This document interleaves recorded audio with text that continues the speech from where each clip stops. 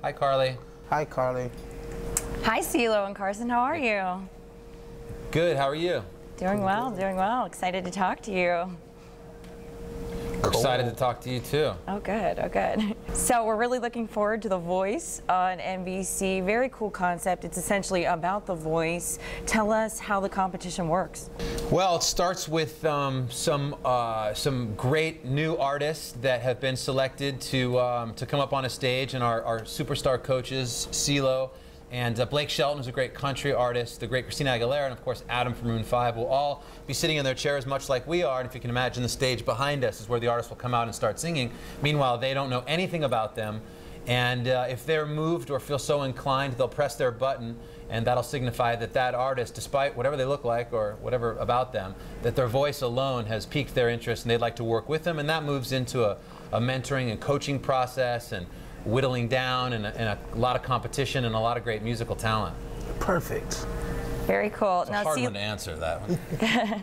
CeeLo, you're a Grammy Award winner. What will you be looking for when selecting your, your contestant? I personally be, will be looking for someone that's singing from their own truth, from their own experience, from them, from the soul, their heart, you know, and their spirit. You know, these things are important to me um, because these things are incorporated by myself. So I will be looking for like-mindedness, you know, and, and then also um, I'm not sure exactly how much they have to do with what song that they decide to cover, but it's it's it's a it's great when a voice um, is a, a, a, a, proper marriage of, of, singer and song, and so you know that that combination is uh, is appealing as well, a very very compelling uh, chemistry together. So I'll be looking for those things that are that are better suited.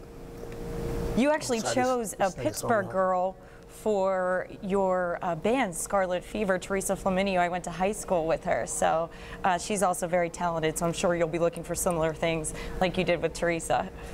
Oh, Teresa from oh, Scarlet Oh, Teresa, Fever. yeah, yeah, yeah. yeah, She's yeah. from Pittsburgh. Yeah we, yeah, we call her Mother Teresa. That's my girl. She's very talented. So Carson, you're uh, the host of this show, and I know you've been buddies with, with some of the the coaches. Are you enjoying the experience? I'm, I'm loving it. It's um, it's been so much fun. It's not only is it a great opportunity, just uh, work-wise. Uh, primetime real estate on NBC at this time is uh, is is like I mean my show's on when America's fast asleep, when I shine my little flashlight on some new rock band from some small town. So to be able to, you know, have this sense of discovery um, in this arena with these people is uh, a real blessing. All right. Well, we're definitely looking forward to The Voice, CeeLo, and Carson. You're very talented, and uh, everybody watch the show. Thank you for joining us. Thank you. Uh, thanks so much.